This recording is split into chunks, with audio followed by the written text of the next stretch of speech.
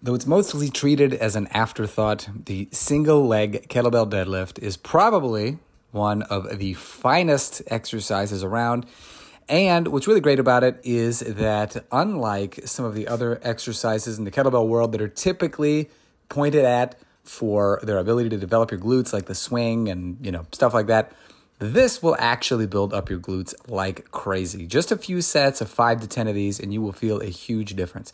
Now, one thing I want to point out with the single leg deadlift is that very often people think that uh, it's only the deadlifting leg that's working, but in reality, the other leg has to work as a rudder. And so it does have a job to do. So when you are doing these, you want to make sure that you're actually pushing the leg directly back behind you so that it is not just flopping around like dead weight, but it is actually being used to help to balance and stabilize you.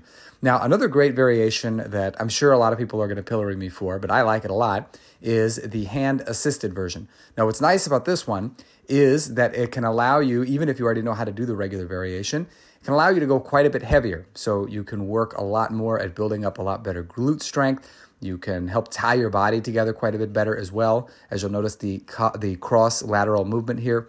And it's a great progression. So if you want to work your way toward it, this is a very good option for people who are still learning or people who are very close, but they kind of need to get a sense of exactly what position their body is going to need to be in in order to do it properly.